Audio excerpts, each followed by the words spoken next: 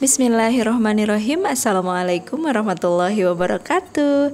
Halo semua Pada video kali ini Ambu membuat makanan khas Cianjur Tidak ada di tempat yang lain Yaitu rogan soup Rogannya itu sendiri adalah singkatan dari roti dan degan Sedangkan supnya itu karena memang makanan ini memiliki kuah berupa santan dan susu yang encer Pokoknya makanan ini unik banget, rasanya enak, gurih dan manis dan juga mengenyangkan. Nah, yang penasaran bagaimana cara membuatnya? Tonton video ini sampai selesai. Nah, yang pertama kita akan siapkan dulu kuahnya atau supnya. Bahan yang diperlukan ada air kelapa muda atau air dawogan. Ini yang aku pakai sebanyak 500 ml.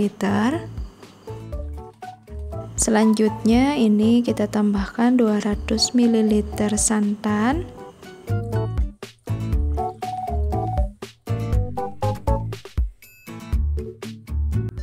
Kemudian kita tambahkan satu saset susu bubuk dengan ukuran 27 gram. Kita tambahkan juga sedikit garam. Lalu kita aduk rata. Agar aromanya lebih wangi, kita tambahkan juga satu lembar daun pandan dan ini kita akan panaskan sampai mendidih. Sambil dimasak, kita terus aduk agar santannya tidak pecah.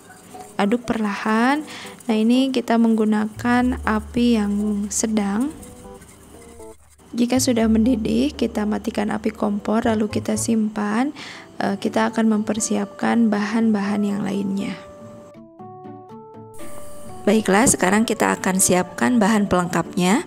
Yang pertama ada roti tawar. Roti tawar yang digunakan boleh jenis apa saja, misalnya mau roti gandum atau misalnya roti yang pandan atau yang biasa seperti ini.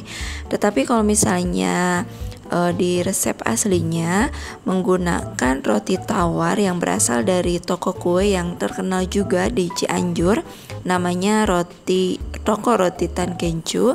Nah, di toko ini rotinya memiliki tekstur dan rasa yang khas. Kemudian yang berikutnya adalah daging kelapa muda yang tadi airnya kita gunakan untuk sup. Nah, dagingnya kita kerok seperti ini. Ini dari satu buah kelapa. Sebaiknya kita kerok tipis-tipis agar nanti teksturnya lembut. Nah, kemudian kita juga siapkan kolang kaling yang sudah kita rebus, lalu kita potong-potong. Kemudian kita siapkan juga kacang hijau yang sudah kita rendam semalaman, kemudian dikukus sampai tekstur kacangnya ini lembut. Nah, kemudian yang penting di sini adalah gula pasir. Nah, uniknya di pembuatan rogan sup ini gula pasirnya tidak disatukan dengan sup. Biasanya kan kita menyatukan dengan e, cairannya ya, tetapi ini tidak. Nanti gulanya akan kita taburkan sebelum dikukus. Kalau misalnya ingin menggunakan gula merah juga silahkan, tetapi e, yang resep otentiknya menggunakan gula pasir.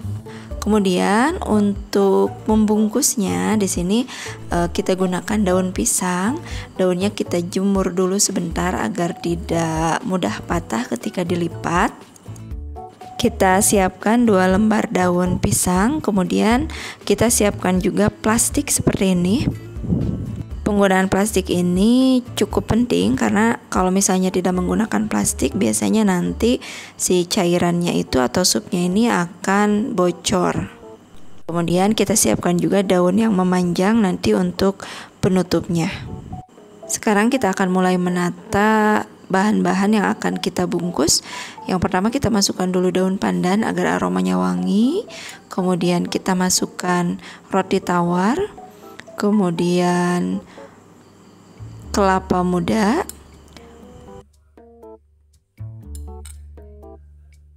lalu kolang kaling,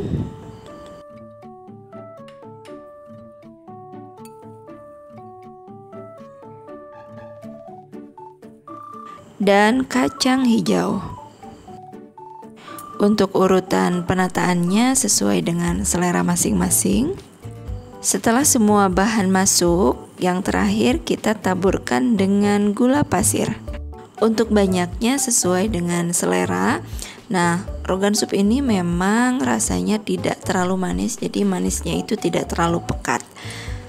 Setelah semua bahan disusun, kita akan masukkan supnya ini, kita akan masukkan ke dalam uh, bahan yang sudah kita susun tadi di daun pisang kita masukkan seperti ini sambil kita bungkus. Kita masukkan supnya sampai si bahan-bahannya terendam dengan sup. Kemudian kita bungkus seperti ini.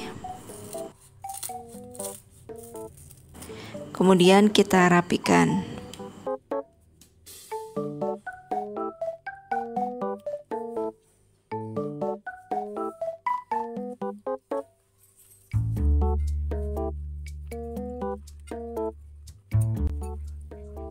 kita akan bungkus kembali rogan supnya. Nah, di sini uh, Ambo menggunakan gula merah.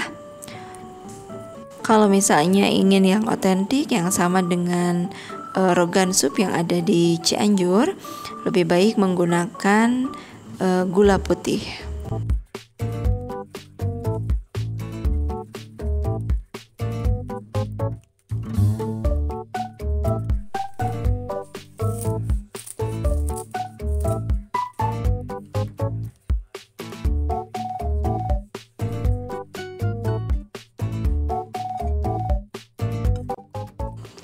Jika di rumah tidak ada daun pisang, kita juga bisa mengukusnya dengan menggunakan wadah yang anti panas seperti ini. Boleh yang wadahnya besar ataupun yang wadahnya kecil. Dan ini tinggal kita kukus. Saatnya kita mengukus rogan supnya, kita kukus rogan sup selama 15 sampai 20 menit dengan menggunakan api sedang. Nah, ini dia rogan supnya sudah matang, sudah siap dinikmati ataupun dikemas. Selamat mencoba, semoga tayangan kali ini bermanfaat. Terima kasih yang sudah menonton tayangan Abah Ambu. Insya Allah kita bertemu lagi di video berikutnya. Assalamualaikum.